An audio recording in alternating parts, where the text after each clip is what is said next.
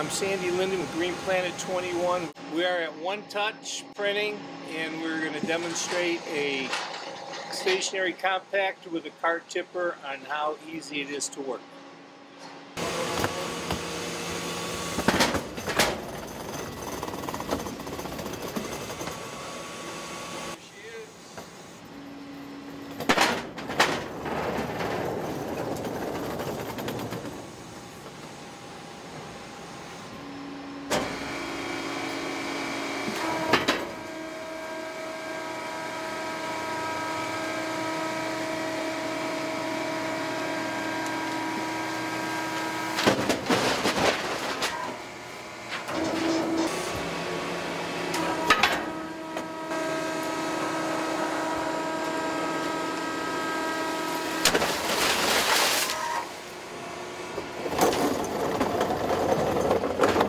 Probably about 800 pounds.